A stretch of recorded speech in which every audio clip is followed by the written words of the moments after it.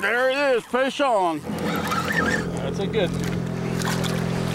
Paddle fishing is something that's been up on Grand Lake and in different other locations across the state. They uh, don't bite, so you snag them. Whew.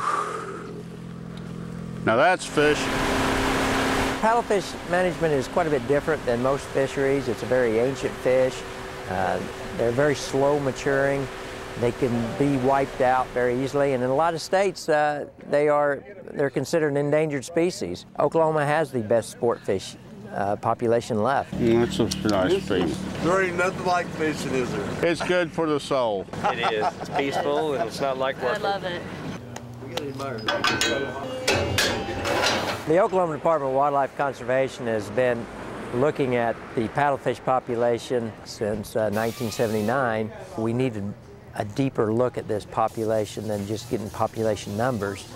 Uh, so what we came up with was this uh, Paddlefish Research Processing Center.